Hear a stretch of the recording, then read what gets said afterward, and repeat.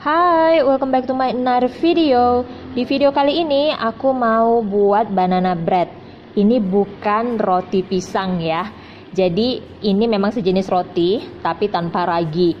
Nah, ada yang masih mengira juga nggak kalau banana bread dengan banana cake itu sama. Tapi ternyata mereka berbeda loh. Jadi mau tahu perbedaannya apa? So you have to watch this video. Check it out.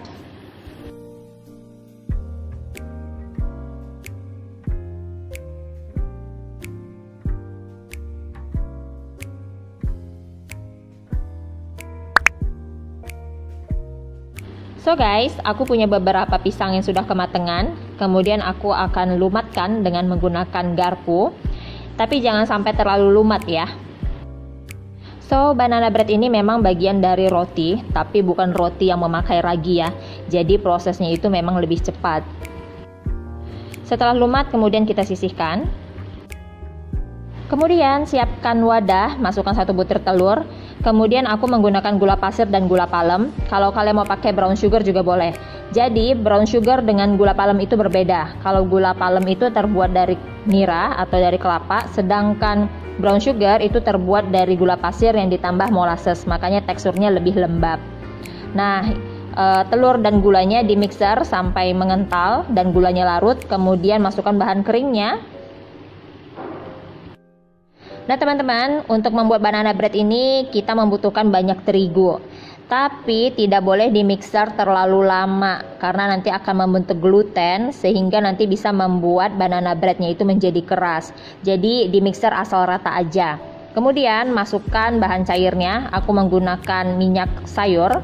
Nah ini di mixer asal rata aja. Kalau masih terlihat e, terigunya biarin aja nggak apa-apa selanjutnya aku akan masukkan pisang yang sudah dilumatkan tadi jadi bedanya dengan banana cake, biasanya banana cake itu e, bertekstur spongy atau bisa juga dibuat dengan cara butter cake. Sementara kalau banana bread itu bertekstur lebih padat dan lebih keras dibandingkan dari banana cake. Nah, ini adonannya sudah selesai ya. Teksturnya seperti ini. Kemudian aku akan masukkan ke dalam loyang. Aku menggunakan ukuran 20 x 10 cm yang sudah dioles dengan uh, mentega dan dialasi bawahnya dengan baking paper. Nah, perbedaan lainnya dari segi penyajian. Biasanya banana bread ini disajikan untuk sarapan atau makanan pembuka. Tapi kalau banana cake biasanya disajikan untuk dessert.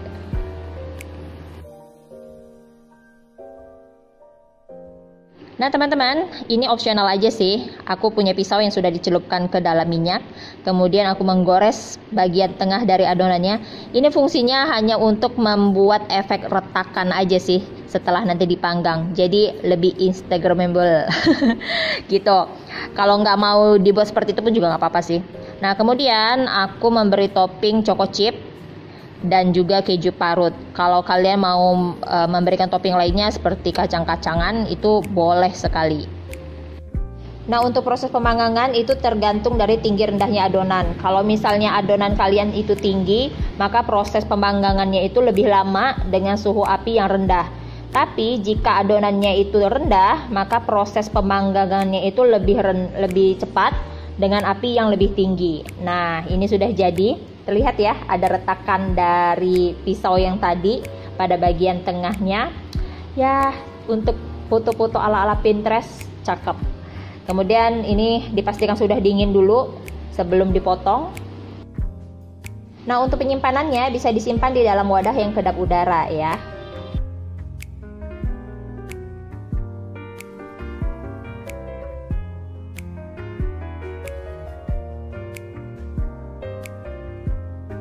Nah, jadi udah tahu dong bahwa banana bread dengan banana cake itu berbeda dan sudah tahu juga kan gimana prosesnya. Tuh, lihat cakep ya dan terlihat lebih padat daripada banana cake. Ya udah segini aja video aku kali ini. Jika ada yang mau ditanya tentang video ini bisa tulis di kolom komentar di bawah atau enggak DM aku di Instagram. Terima kasih sudah menonton. Jangan lupa di subscribe, like, share, dan komen. Sampai ketemu lagi di video selanjutnya. Dah.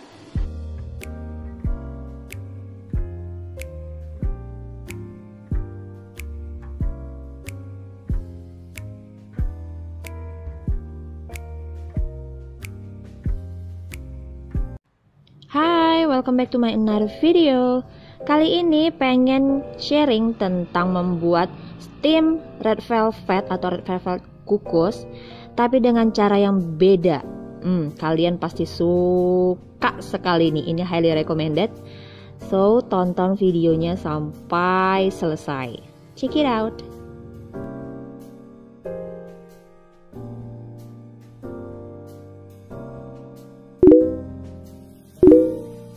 So guys, berikut bahan-bahannya.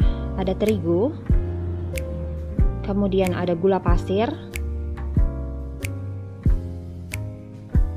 next ada telur, kemudian ini ada coklat putih, dan ada minyak ini nanti kita lelehkan. Selanjutnya ada pasta velvet, kemudian ada emulsifier, aku pakai SP. Lanjut ke prosesnya, siapkan bowl mixer, kemudian kita mau mixer dulu nih. Yang pertama kita masukkan telur, kemudian gula pasir, selanjutnya kita masukkan SP atau pengembang. Nah ini langsung kita mixer aja sampai mengembang, kemudian berwarna putih kepucatan.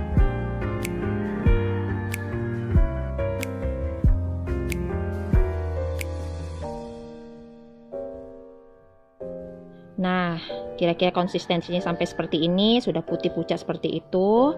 Kemudian kita masukkan terigunya, jangan lupa diayak ya. Wajib malah harus diayak dulu, jadi biar tidak ada gerindil yang masuk ke dalamnya.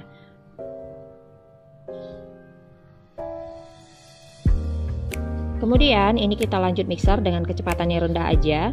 Kalau kalian mau pakai spatula juga nggak apa-apa sih.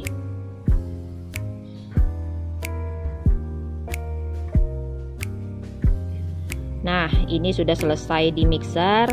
Kemudian kita mau masukkan um, bahan cairnya. Nah, ini coklat putih dan minyak. Jadi coklat putihnya tadi sudah dilelehkan dengan minyak ya. Ini kita masukkan um, sepertiga bagian dulu. Jadi aku masukinnya biasanya itu uh, tiga kali, tiga kali bagian. Nah, ini diaduk balik. Pastikan uh, adonannya itu tercampur secara homogen atau memang benar-benar tercampur ya. Jadi tidak ada endapan dari si coklat putih dan minyaknya itu pada dasar bowl. So guys, kalian harus coba resep yang ini ya. Aku yakin pasti kalian akan ketagihan dan buatnya itu nggak bisa cuma sekali seumur hidup, pasti berulang-ulang. Nah, selanjutnya kita masukkan pasta red velvet nih kalian bisa tambahkan pewarna merah sedikit untuk mendapatkan warna merah yang uh, cakep ya. Nah ini diaduk sampai rata.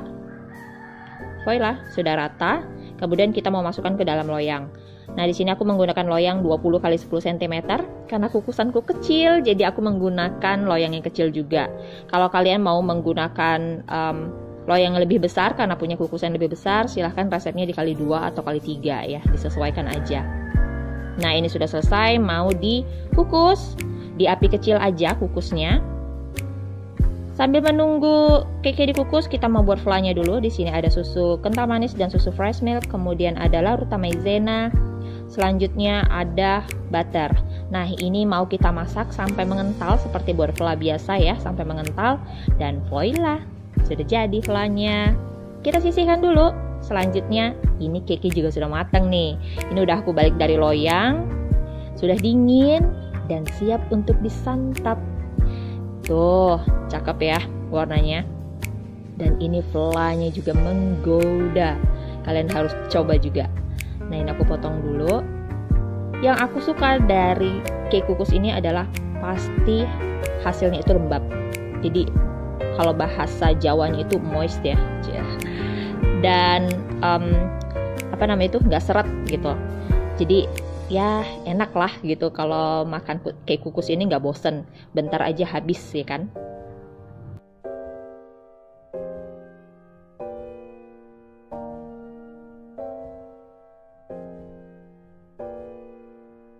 Nah, cara menikmatinya, kita ambil dulu satu slice nih.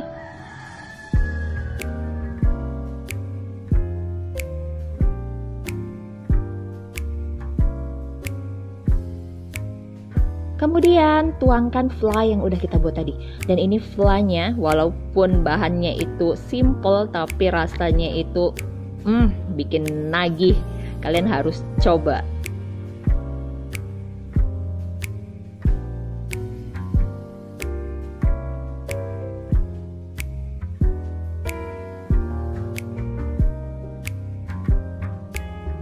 Jadi kalau biasanya red velvet yang dipanggang itu disajikan dengan cream cheese frosting, tapi kali ini kita buat yang berbeda.